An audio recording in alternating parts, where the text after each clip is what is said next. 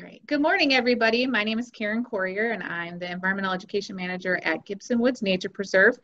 We are uh, a Lake County park that's actually located right in Hammond. And so we're going to kind of take a little tour, a virtual tour through uh, the nature in your neighborhood. So this is a picture, obviously, if not now, this is a fall picture, but we're going to um, talk a little bit about it. So we are uh, about 131 acre uh, land right in um, the heart of Hessville. So we're just between Kennedy and Klein, and we'll see a map towards the end just to, uh, to see where we are. And um, we're actually a, an unusual habitat called dune and swale, and we'll talk about that right away. But we are also, um, on top of being a Lake County park, we're also a state designated nature preserve. So um, it would take an act of state Congress to change this land from being protected. So it is protected in perpetuity. And um, as we go through, you'll kind of see why it's a, a, special kind of place. And it's unusual that it sits right in a neighborhood right in Hessville. So, um, so we're going to kind of journey through Gibson Woods. We'll talk a little bit about the habitat and the history, like why we're here um, naturally, and then just why this place um, didn't get developed. Uh, as you know, in Northwest Indiana, a lot of the land along the lakeshore uh, was turned into industry um, beyond like the Indiana Dunes National Park and some of those places. Uh, we'll look picture pictorially through the seasons, so you'll kind of get a chance to see what uh, Gibson Woods looks like through the different seasons. And then we'll talk a little bit about coming for a visit if you'd like to come and join us. So Gibson Woods uh, is this special habitat called dune and swale. So you're probably familiar with dunes. Um, if you've been to Indiana Dunes National Lakeshore or the, um, the uh, state park or even out to uh, Marquette Park or um, in Michigan City. So dunes are basically just a hill of sand that's built up by wind or water. They don't have to be really tall. So when you come here, you are going to the dunes, but you do not have to go up a large incline. So ours are just little ridges. So you, you're, you're pretty much um, just walking over boardwalks. They're, they're, it's pretty flat uh, terrain, but they are these uh, buildup of sand. And then in between them, we have what's called a swale. And swales are basically just um, spots in between those dunes that hold water. So they can be uh, temporary, um, so they fill up only from rain or uh, snow melt. We don't get any kind of um, influx from a creek or a stream or anything like that. Obviously, groundwater, um, the water can only go so far when the, the groundwater is high, but and it basically runs in between those two ridges and they run parallel to a shoreline. And we'll discuss next kind of why that has happened. So unfortunately, um, because we had 10 inches of rain this past May, most of our swales are overflowing and it's caused many of the trails to be flooded as well. So um, unfortunately, only a portion of our uh, park is actually accessible on our trails, but uh, nobody expected that we'd have three springs in a row where we'd have, you know, eight to 10 inches of rain.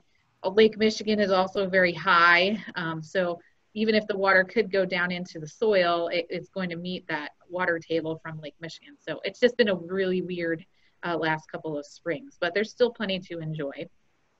And so this is kind of what it looks like um, if we were to able to kind of cut through. So the ridges are those higher spots, and then um, the swales are in between. And they run um, parallel to our present day shoreline of Lake Michigan.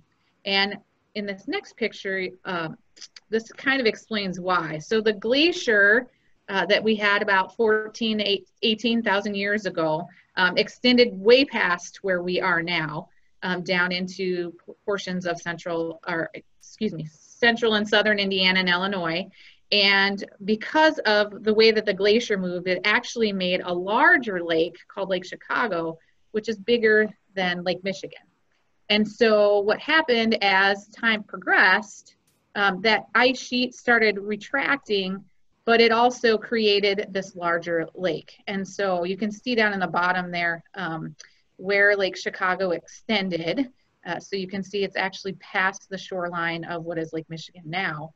And uh, what happened as that, that um, ice sheet retreated and the lake started going back, uh, it created these old shorelines. And um, it could be also sand sandbars and things like that but as it retreated it created this dune and swale. So one of the ridges could have been a um, the old shorelines so as it progressed so if you're familiar with ridge road in munster that's as far as lake chicago went um, and then past there there's some other um, uh, glacial fallout called moraine, so that extends down into Valparaiso and into like Cedar Lake and things like that. But uh, Ridge Road is pretty much where, as far as it went. And you, if you think about it, on the south side of Ridge Road, it's actually very high, so that's where a lot of the sand and stuff was pushed back. Um, so that was the last one, and then it just started gradually retreating back and created this land. And so um, this is a picture from the 1930s of what those shorelines looked like. So you can see that um, the dark part on the top is Lake Michigan.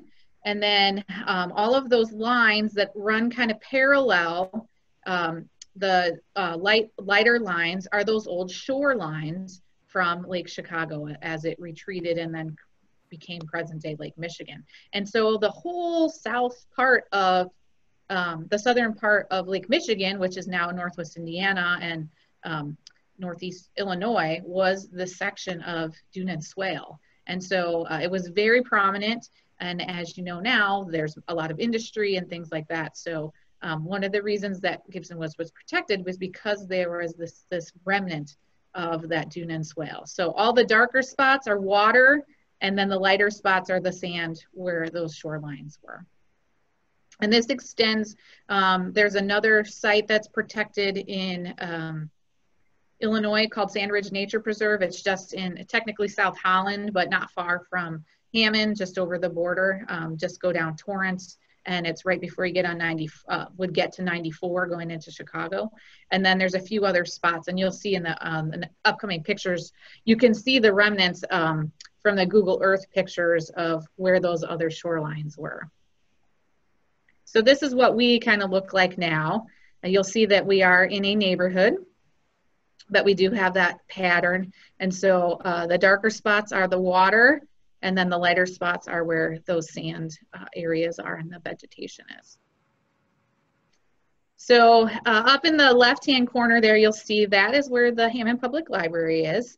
And we are down in the southern, um, or excuse me, down on the bottom right. Uh, so we're only four miles from the library. We're just on the edge of Hammond. So we're between 94 and 90, so the Indiana Toll Road and uh, 8094, and then just between Kennedy and Klein. And the, as I said, you can see that we are um, right in the neighborhood.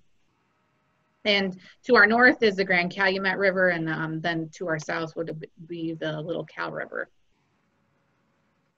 So that shows you a little cl more close up, and you can see where the railroad tracks and other things are. Um, in this picture, you can see a little bit more of that dune and swale that's protected. So there's a couple different spots. Um, to our north, there's actually another uh, Lake County Park property that's not open to the public. If you go north of the Grand Calumet River, that's um, some Shirley Heinze uh, Land Trust property. Um, and then if you go over on the other side of Klein, there's actually um, two sections. It's called Ivanhoe, north and south. The north part runs between um, US 20 or um, Fifth Avenue that goes through Gary. Uh, so it's between the toll road and that road, and that's uh, Ivanhoe North, and that's a DNR uh, state, the uh, Indiana Department of Natural Resources site. And then the one to the south is actually managed by uh, Shirley Heinze as well.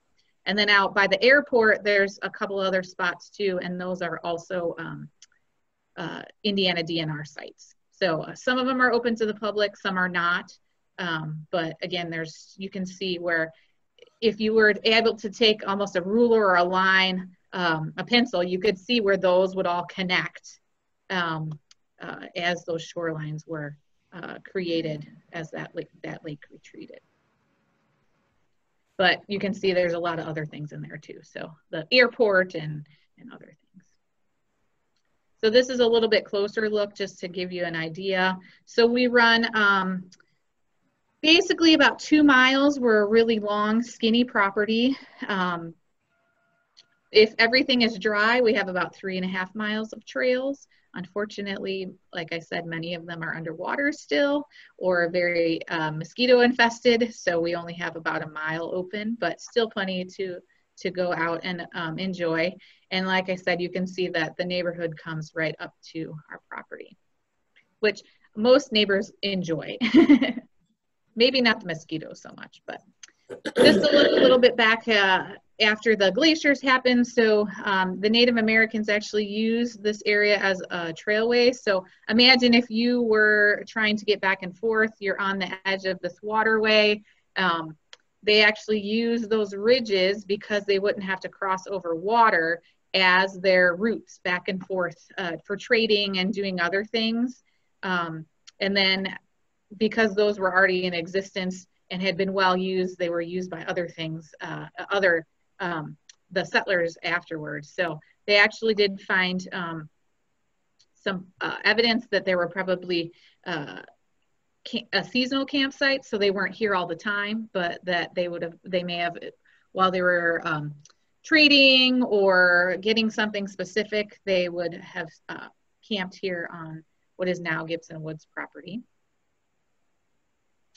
And then the name Gibson actually comes from David Gibson. So there weren't a lot of people here. You could imagine if there was a lot of water, not a really good place to set up a large um, or even a small set settlement.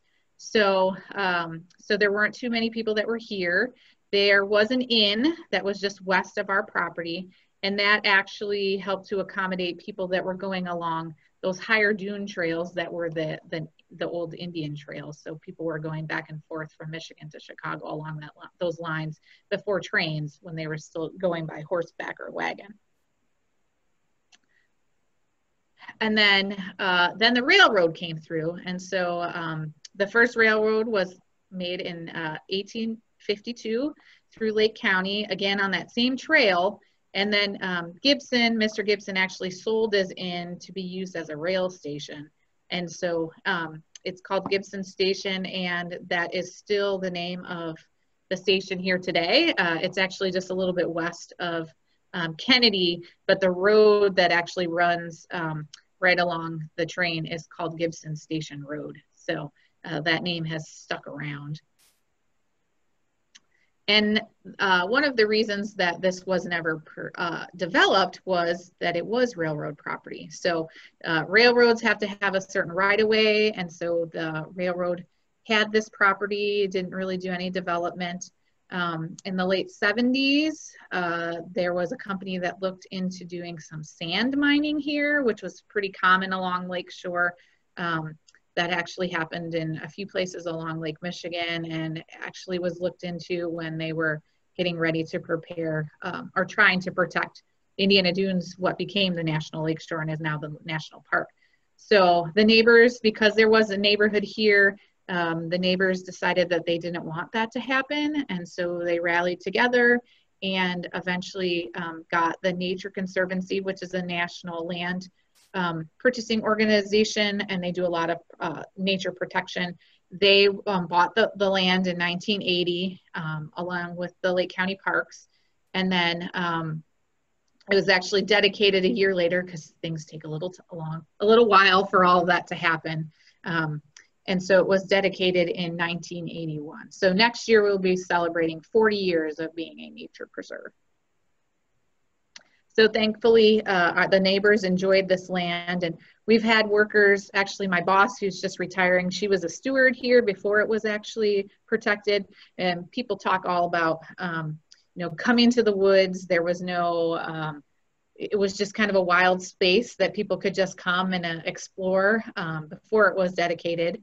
And so um, it, it's been an important part of the neighborhood for a long time, but thankfully um, those neighbors thought it was important enough to get it protected back in the 80s. And so why did they make it a nature preserve and not just something else? So um, there's a guy in this picture, his name is Henry Cowles. And if you've been to Indiana Dunes National Park, you know there's an area called Cowles Bog. He was actually, or considered the father of ecology, so the study of natural uh, habitats and how things interact and he did a lot of um, research here in Northwest Indiana just because it was unique topography. So we had the dune and swale and um, savannas, which we'll talk a little bit later. Um, to, and because of all these kind of smaller, uh, unusual habitats, there's a really high um, biodiversity of um, flora, flora and fauna in the area. So he actually studied here and um, thought it was an interesting series of sand ridge alternating with depressions in the Gibson Station area. So he actually was in this area and did a lot of work around here.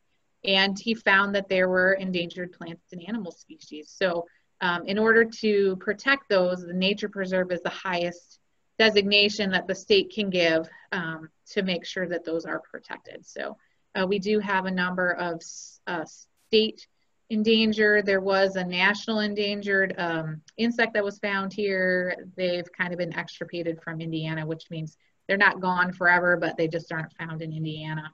Um, we'll see a picture of that in a little bit, but um, that was a way that they could end up giving it the highest protection that they could. So we've got our dune and swale. And then in between that, we also have what's called a savanna. And black oak is just a tree, that's the dominant tree that's there. But a savanna is basically a prairie and a, um, a prairie and a forest mixed together. So there are um, trees, but not as many trees as if you were to go to a national forest or think of um, like redwoods or something like that. So it's not a, a, true forest. So woods is a little bit misleading in our name, but um, that's just because that's what they called it back then. So they were just preserving uh, what, what the area was called. So, so if you've been here the last couple of years, we've actually been cutting trees, which seems kind of counterproductive, but that is to help some of those prairie plants who need, that need more sunlight to grow. And so uh, it's this mix up of, of prairie and um, forest, and that actually creates higher biodiversity. And then we also have a prairie area. There's um, some restoration that was done. It was actually uh, some cottonwood trees that uh, typically would not have been here. They're more of a, a, floodplain tree. Just blew in from the neighborhood, had really like um, basically shaded everything out and weren't providing a real high um, quality environment for the plants and animals there. So they cleared that out, did some planting, and lots of um, seeds were still in the seed bank from many years ago when it was prairie that uh, have come back, and it's just been amazing.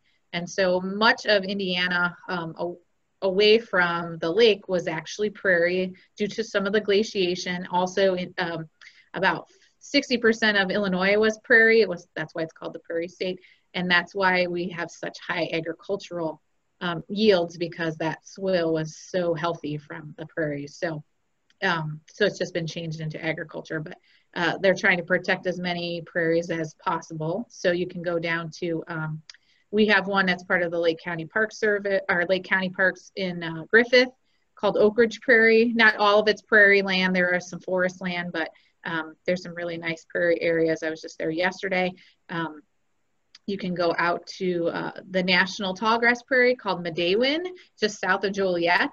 Um, so that was the first national tallgrass prairie dedicated. It was uh, back in 1996, and they have buffalo that have been reintroduced, and it's um, hot at this time of year, but pretty amazing.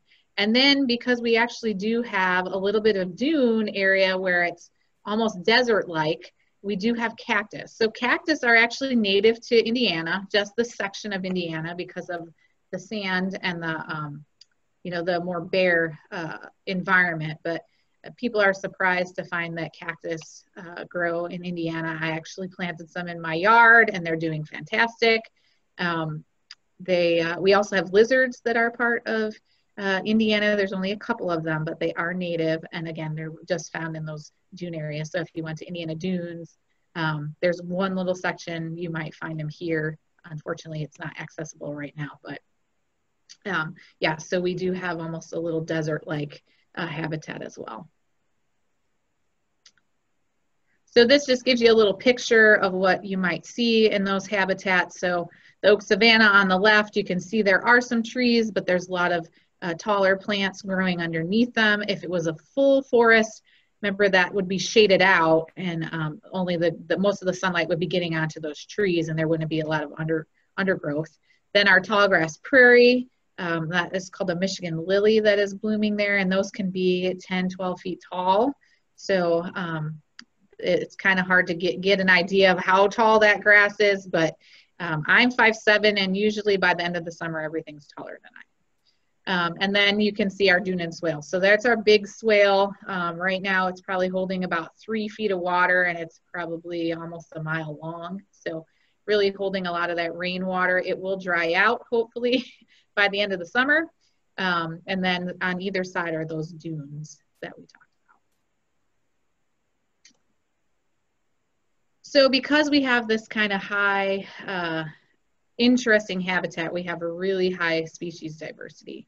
And um, we have over 300 different plant species that have been identified. Some of them are either threatened or endangered, so they're only growing in a few spots.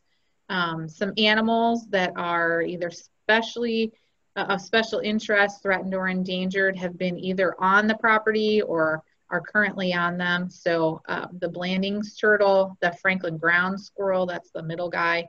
He's kind of like a um, chipmunk and then the Karner blue butterfly. And the blue, the Karner blue is one that in Indiana, the scientists are pretty sure it got extirpated, which means that it's no longer found in Indiana. Its uh, life cycle is tied to that plant that's next to it called lupin. And there was a year, um, I think it was 2012, that the that was really warm very early, and so the plant came out, and the butterflies weren't here yet or no, the butterflies were here and the plant wasn't out yet. And so it had no way to um, reproduce. So it lays its eggs on that plant and then the, the caterpillars eat it and its whole life cycle happens on that. So since it didn't have that plant to reproduce, the numbers kind of went down. They are still found, I believe, in, in Michigan and some places maybe in Illinois and, and Wisconsin, but um, they actually had even done some introduction here for a number of years trying to get them back um, they may come back. There's no way to know, but um, they haven't been spotted in Indiana for a few years. And over 160 species of birds use this area at some point. So we're, because we're so close to the Great Lakes, um, the Great Lakes are a huge migration uh, point for so many birds. So um, we get to be a, a stopover. So uh, this year was like the second week in May was when we had our big migration um, push and I went out and did a hike and I don't know a lot of birds, but I knew some of them. And um, we our number was 49 species my uh, friend and i that went out and counted. And one of my coworkers i think got 66 so 66 different uh, different birds were here in one day. Um, so that's a pretty amazing. But we have anything from ducks to water or wading birds like egrets and herons will show up um, to little tiny hummingbirds and um, warblers that pretty much just come through in and out. And then we've got a bunch of year-round birds too as well. And we'll see some pictures a little bit later. So one of the things that we do um, just to maintain it, so you know, you think nature just kind of would do its own thing, but we do unfortunately have to do a little bit of maintaining. So in order to keep the prairie and the savanna kind of healthy, we do have to introduce fire. So um, that burns off a lot of the um, dead plant material that would be above ground, but the plants below are just fine. So that just kind of recycles those nutrients a little bit faster. So we do that on a, on a um, uh, a yearly um, schedule. So not every section gets burned every year. So there's like a four year cycle. Um, we do actually do, do use some chemicals to eliminate invasive species. If we didn't, um, it would just take forever to get rid of them. So um, unfortunately, the, uh, we only have so much money and so many uh, man hours to be able to do that. So um, some we can hand pull. Um, at some we do have to actually put chemical on to, to eliminate them because they're just too hardy. Uh, and those are things like Japanese knotweed and um, Phragmites, which is that kind of weedy looking plant that you see growing along 80, 94, basically any ditch, really tall, looks like wheat. Um, it's super invasive, just takes over everything. Um, really bad in wet, wetter areas. Um, Purple loosestrife, while beautiful, it has over 2 million seeds in one plant, so it can it's fairly aggressive in taking over areas. Cattails, there are some that have hybridized, and so they can kind of take over areas. Reed canary grass is another one, and there's you know lists and lists. Um, and it, and that this is happening in pretty much any natural area there are invasive species. So sometimes they're animals, sometimes they're plants. In our case, we're dealing mostly with plants, um, but it's a it's a huge um, thing that we have to tackle just because we have such global trading. A lot of these things came over accidentally in um, like the purple loosestrife came over, we think in soil that was used as ballast in a boat. So before they started using water, they actually would put soil in the bottom of the boat, allowing to um, help the boat ride correctly in the water with all the cargo on the ship. And so um, while world trade has been good, it also has brought along some, some bad things with it. So, so those, some of those have been introduced. And then we, like we said, I said, uh, taking some of those trees out, and then we actually do put in seeds of native plants as well, so that um, so that we're bringing back some of those things. And like I said, some of the things that have come back, we didn't even put seed in. It's just, it was sitting there in the seed bank from many years ago and getting enough sun and um, the right kind of temperatures and things like that. Just those things just kind of came back on their own. So it's just been an interesting thing. So here we have kind of this living museum of kind of unique uh, plants and animals and a history with the past. And so you can come out and basically we just allow people to do bird watching, um, taking pictures, walking, just enjoying. Uh, so we don't allow pets, we don't allow bikes because um, we want to maintain, um, because it's sand, a lot of it, our trails are sand that can uh, do damage when you have bikes and things like that. So um, people are just out there just enjoying the sights and sounds. So this is a map that kind of shows uh, what the, the land looks like. And this is a trail map. This is the trail map that we use. So unfortunately, just the southern part of that green trail is open. The red trail and the blue trail are still underwater. And most of that green trail just because we've had so much rain. But hopefully we'll get some sunny days and not a lot of water. But um, the red trail grows through, goes through that uh, restored area of, of tall grass. And um, there's a little boardwalk that you can go access right from the building that goes over one of the swales. And then um, our green trail has swale and woods, and then uh, our blue trail is the same. There's a little bit of, um, uh, there's a couple of bridges, unfortunately, underwater now. And the green trail on the north side, kind of where it says railroad tracks, right around in that area, there's an, um, an area that was actually damaged by some people um, back in the 80s. They've got some ATVs in here and tore up the land, but uh, that's where our, yeah, unfortunately, that's where our cactus are growing. Um, and there's, there's prairie. It's a great place uh, to see butterflies, to see dragonflies. The, the grasses pretty much grow up the cat after over the cactus. So you can't see them at this time of the year, but um, it's a really, really cool place to see those animals that really like the hot weather. So butterflies and dragonflies and um, you'll see birds and stuff out there. I've never seen them, but I would imagine that that's where the turkey hang out too. So we do have wild turkey that live here. So, um, and I know that they, that's an, close to an area they've been spotted, but I've not personally seen them. So this is this might be a, these are some pictures of what it would look like if you were to come at this time of year to take a look. And so this is one of our boardwalks. Um, that goes through uh, the woods here and our trail. Uh, and then this top uh, picture is the that big swale. Again, you won't be able to see that right now just because, uh, or at least in that vantage point. That's from the bridge that goes across it that is still underwater in, por in portions, unfortunately. Um, then we've got dragonflies. The button bush down in the uh, lower left is just blooming, just starting to bloom now. We'll really start getting a push in the next week or so. Uh, things are about two weeks behind because we had so much rain and cold weather this spring. So things are a little behind, but there are a few button bushes that are starting to bloom. And then uh, the purple coneflowers have just started. That's echinacea.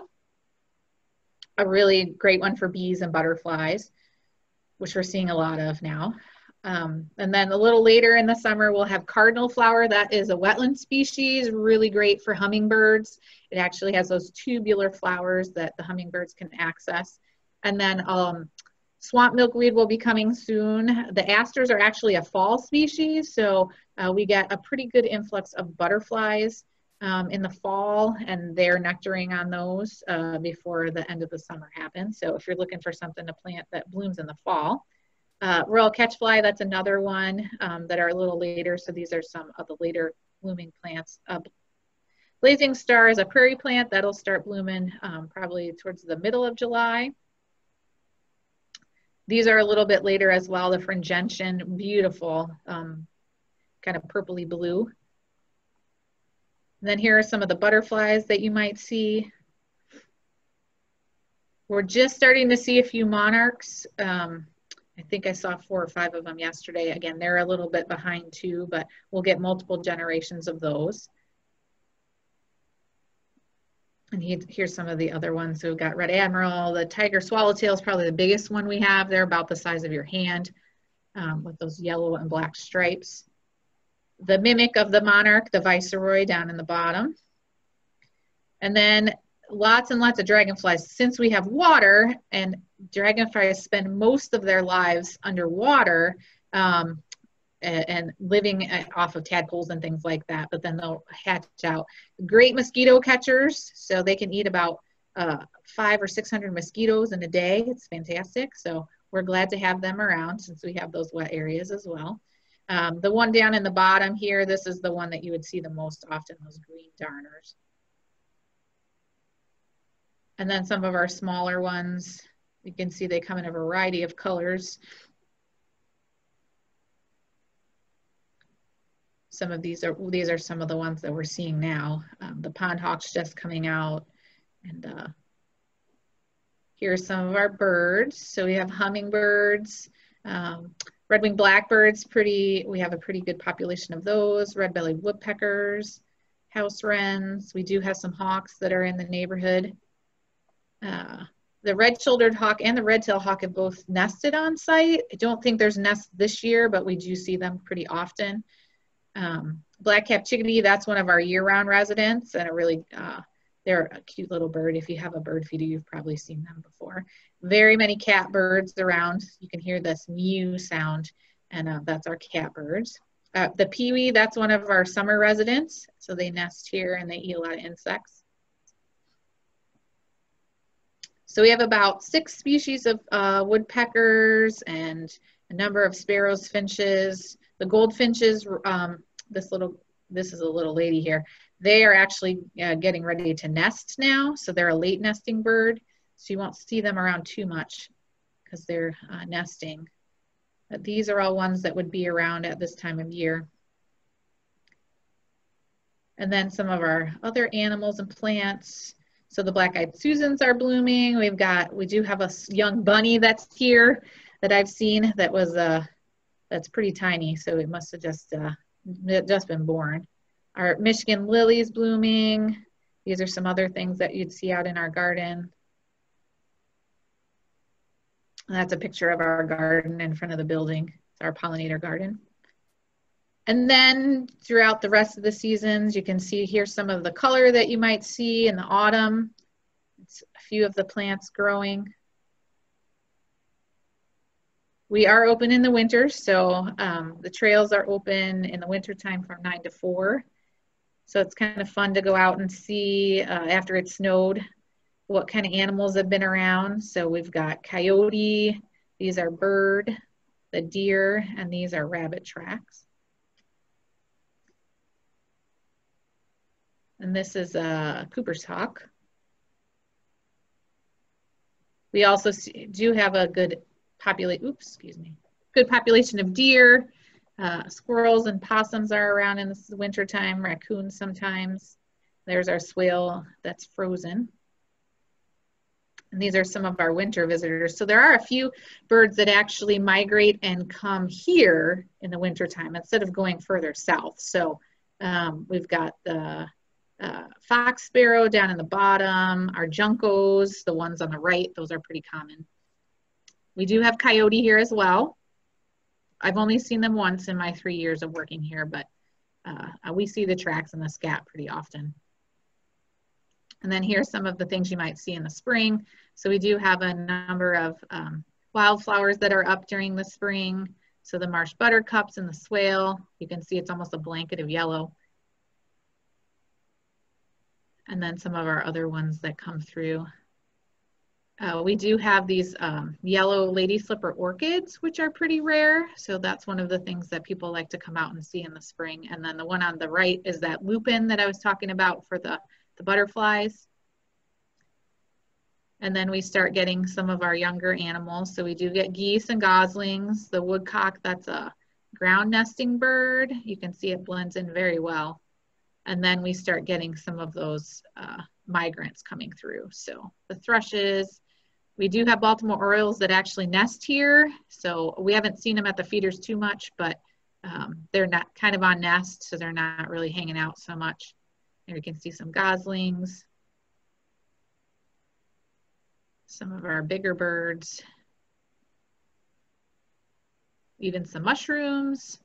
So this is a little bit of indoors. So we do have a building that you can come in. Um, unfortunately, the, the picture on the right shows some things that are, are touch table. Because of what's going on with uh, the COVID-19 virus, we had to put those away, unfortunately, because it's just too hard to keep them clean. But uh, anything that's under behind glass or that's up on the walls, um, those are still out. So we have a variety of of um, taxidermied animals uh, from birds to we actually have a, a, possum and a coyote and a raccoon. So you can come in and see those. And um, this is a picture from the bird room, which is where I'm sitting right now. Uh, so we actually have mirrored glass on uh, two walls of the room and uh, a speaker system set up. So there's microphones outside and then uh, speakers inside. And so the sound from outdoors is, is uh, sent inside, so you're hearing what's live outside. And the birds really can't see you. And so um, we have feeders that are hanging right by the windows, so you're able to really get close and personal with a lot of birds. Squirrels are usually around too. Um, sometimes a deer and other things will come around as well. Uh, yesterday I saw a snake that was slithering by the, by the, uh, the building that a red-winged blackbird was trying to, I don't really think he was going to pick it up, but he kept biting at it with his beak. Um, but that's an area that you can come in and sit and just enjoy. And these are some of the things you might see. A lot of blue jays. Uh, sometimes the hawks will come by. That's a red-headed woodpecker. Um, and then the one on the bottom uh, right is actually one of our uh, kind of fall and spring visitors. And then, like I said, we do get some mammals that come up. We've had a woodchuck as well that comes and kind of hangs out. Oh, there he is down on the bottom and we do feed um, all year long. So if you're interested in visiting, we're open Tuesday through Sunday. Um, we're closed Monday and holidays, so we won't be open this Saturday because of the 4th of July. But we're open 9 to 5, um, March through October, and then once it starts getting lighter earlier, we um, go back to a 4 o'clock close, um, just because by 4 o'clock in December, it's dark. So um, and right now we're open Tuesdays, Thursdays, and Saturdays from noon to four. Again, we've got an adjusted schedule this weekend because of 4th of July. So Saturday we're closed, but we're actually open on um, Sunday, the 5th, uh, if you want to come in and visit from noon to 4. So you can come in the bird room.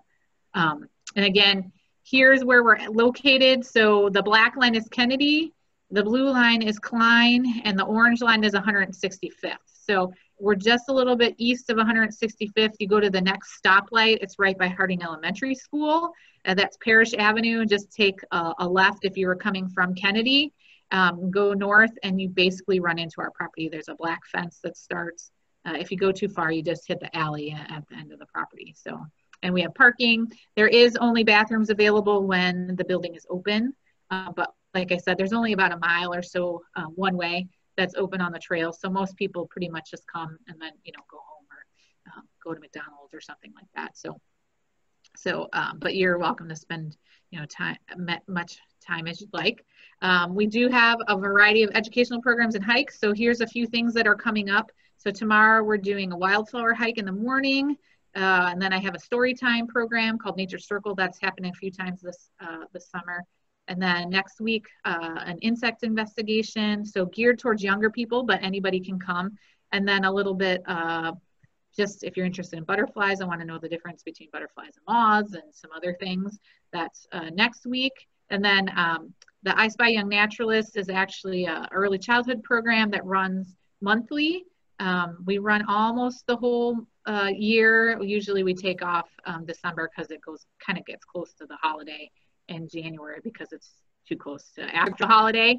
Um, and then a variety of other things. Right now, we're only pretty much doing anything that's outside because just having groups, uh, we have a small space, so we don't have a, a, place to have really big activities. But if you want more information, you can go to lakecountyparks.com and there's a calendar, or we list all of our information uh, on Gibson Woods um, Nature Preserve, which is on Facebook. So.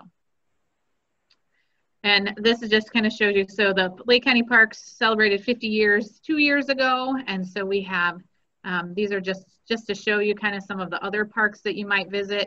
So we run from uh, Gibson Woods in the far north part of the county all the way down to the very edge of the county down at the Grand Kankakee Marsh. So we have some historical sites. We have some areas that are more recreation. Grand Kankakee Marsh is actually more of a hunting spot um, but you can go down and boat and fish. Um, uh, and Lemon Lake's got a uh, disc golf course. We've got a couple golf courses. We have the water park. Bellaboo's is not open yet, but hopefully sometime this month it will open. Uh, Deep River Water Park just opened on Tuesday. Um, so uh, these are some of the other places that you can visit. And that's what I got. So thanks so much. I hope you learned a little bit about some place in your neighborhood and hopefully you'll come and visit us soon. Thanks so much. Thank you, Caryn. That was not only educational, but very uh, entertaining as well. I really enjoyed it, and I do plan Great. to come out and visit. And the Hammond Library so. really appreciates you taking time uh, to give us this uh, great uh, informative program about a local, as you described it, a hidden gem in the Hammond community. Thank you very much. I was glad to do it. Okay. All right. Have a great day, everyone.